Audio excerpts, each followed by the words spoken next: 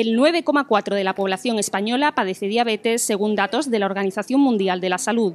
Para que pacientes y médicos puedan controlar esta enfermedad en tiempo real y prevenir sus complicaciones, médicos y nutricionistas del Instituto de Investigación Biomédica de Córdoba y el Hospital Reina Sofía han creado una aplicación.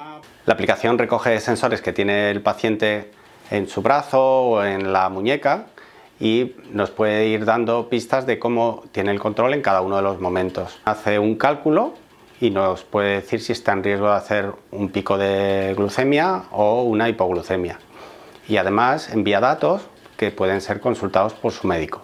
La aplicación, desarrollada a nivel europeo, posibilita que el paciente acceda de forma intuitiva e inmediata a los datos sobre su enfermedad a través del móvil. Los pacientes diabéticos principalmente tienen mucho miedo a las complicaciones, el pie diabético, complicaciones renales, complicaciones con la vista.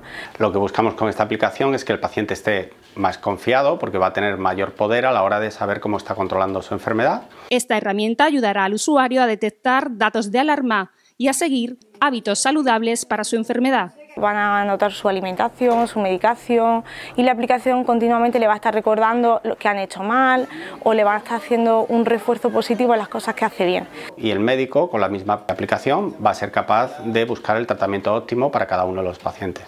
Control y prevención con ayuda de la tecnología para mejorar la calidad de vida del paciente.